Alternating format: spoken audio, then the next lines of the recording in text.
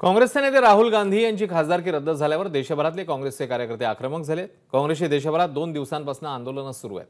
आज देशभरात काँग्रेसचा संकल्प सत्याग्रह आंदोलन सुरू आहे. दिल्लीत राजघाटवर काँग्रेसचा संकल्प सत्याग्रहात काँग्रेसचे अध्यक्ष मल्लिकार्जुन खरगे प्रियंका गांधी यांच्यासह अनेक नेते आणि पदाधिकारी उपस्थित होते. याशिवाय मुंबई दिल्ली आणि इतर ठिकाणी काँग्रेसने सत्याग्रह आंदोलन केलं. मुंबईत पृथ्वीराज चव्हाण तर नागपुरात प्रदेशाध्यक्ष नाना पटोले संकल्प सत्याग्रहात सहभागी झाले. राज्यात अनेक ठिकाणी काँग्रेसने आंदोलन केलं. एबीपी माझा. उघडा डोळे बघा नीट.